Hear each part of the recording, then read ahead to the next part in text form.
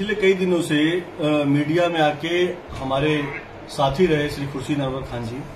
वो लगातार आके मीडिया में अनाप शनाप बातें कर रहे हैं और उस व्यक्ति के लिए कह रहे हैं जिस व्यक्ति की वो प्रतिनिधि थे जिस व्यक्ति को वो अपना भाई कहते थे। ये सत्य है कि नदीम जावेद जी दो नदीम जावेद जी के प्रतिनिधि के रूप में खुर्शीद अनवर खान जी ने 2012 से 17 तक काम किया। लेकिन 2012 से 17 के बीच में बहुत सारी चीज़ें आई जिसकी वजह से उनको प्रतिनिधि पद से हटा दिया गया। बहुत शिकायतें थी, जनता की शिकायतें थी, पैसे लेन देन की शिकायतें थी, इस वजह से उनको हटाया गया। सत्रह के बाद से खुर्शीद अनवर खान जी ने अपने अंदर जो उनका गुस्सा था, वो सोशल मीडिया के रूप में निकलना शुरू किया। वो नदीम जावेद जी के बारे में तरह तरह के आरोप और प्रत्यारोप लगाना शुरू किए। उन्होंने उनके परिवार के बारे में, उनकी वाइफ के बारे में अनर्गल बातें की, जो प्लेटफॉर्म पे है सोशल मीडिया प्लेटफॉर्म पे लोगों ने पढ़ा भी है। वो आप सबके सम्मुख है। उसके बाद लगातार ये सोशल साइट्स पे नदीम जावेद जी को ब्लैकमेल करने का काम शुरू कर दिए। ये निगेटिव खबरें लगाना शुरू कर दिए। लगातार नदीम जावेद जी के खिलाफ और इन्होंने खबरें लगाना शुरू की और नदीम जावेद ही नहीं, ये उस व्यक्ति के खिलाफ निगेटिव लिखते थे और उससे पैसा धन उगाही करते थे। क्योंकि पैसे का कोई इनके पास सोर्स है नहीं, माध्यम है नहीं। ये पत्रकारिता कर रहे थे, पत्रकारिता से ही इनको, निकल गए। उसके बाद जाके मुंबई में इन्होंने होटल खोला। और ये लगातार अपने काम में सक्रिय रहे फेसबुक पे लिखना, अनर्गल बातें करना, ये शुरू था इनका। मैं 2017 के बाद से नदीम जावेद जी ने मुझे याद है कि इनको चेक के माध्यम से बैंक ट्रांजेक्शन के माध्यम से इनको दो लाख रुपए इनको दिया। अभी कुछ महीने पहले इनको उन्होंने दो लाख रुपए दिया, दो लाख साठ हज़ार रुपए दिया। और ऐसे बहुत सारे पैसे इनको दिए जिसकी वजह से कि इनका खर्चा चले। कभी बाप की बीमारी कभी बेटे की पढ़ाई कभी माँ बीमार है कभी कुछ जरूरतें हैं। अभी जल्द में ही इन्होंने काम शुरू करने के लिए नदीम जावेद जी से पैसे लिए दो लाख रुपए चेक के माध्यम से। वो बैंक अकाउंट बैंक डिटेल हम आप सबको दे देंगे। तो ये जिस तरह से लगातार ब्लैकमेलिंग करके धन उगाही करने का काम कर रहे हैं आ, हम नहीं चाहते थे कि मीडिया में आके इस तरह की बातें करें लेकिन मजबूरन आप सबने भी कहा कि बोलना चाहिए आपको और हम आपके सामने आके इस तरह की बात करें। बेसिकली नदीम जावेद जी को ब्लैकमेल करके पैसे वसूलने का काम श्री खुर्शीद अनवर खान जी कर रहे हैं। वो नदीम जावेद, जिसके फादर पाँच पाँच मुख्यमंत्रियों के साथ महाराष्ट्र सरकार में काम किए हैं। तीन दिन बार तीन तीन बार कैबिनेट के मिनिस्टर रहे सिडको के चेयरमैन रहे खुद नदीम जावेद जी अखिल भारतीय, एनएसयूआई, भारतीय राष्ट्रीय छात्र संगठन, जो देश की सबसे बड़ी छात्र शाखा है उसके राष्ट्रीय अध्यक्ष रहे और पूरे देश में उन्होंने काम किया। जो युवक कांग्रेस के राष्ट्रीय महामंत्री रहे और लगातार वो देश में नौजवानों की आवाज़ को बुलंद करते रहे।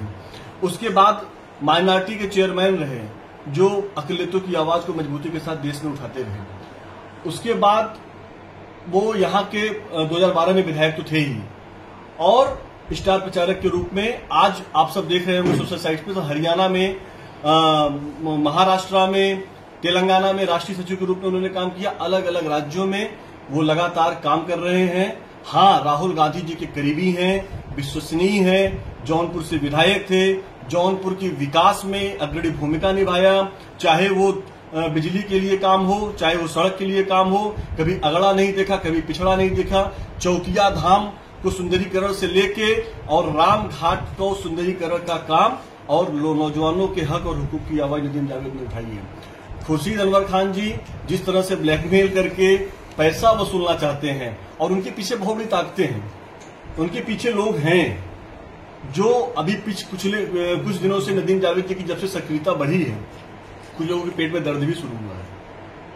और खुर्शीद अनवर खान के पीछे कुछ लोग हैं, मुकदमा दर्ज हुआ है, हमें न्यायालय पे, हमें संविधान पे, हमें कानून पे विश्वास है, जाँच होगी दूध का दूध और पानी का पानी हो जाएगा।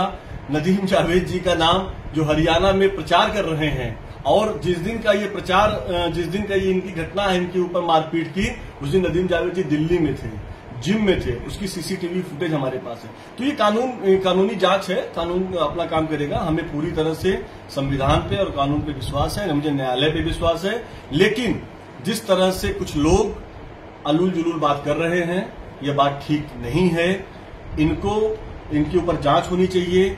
इनके ऊपर हम लोग विधिक कार्रवाई भी करने का सोच रहे हैं क्योंकि अब पानी सर के ऊपर हो चुका है।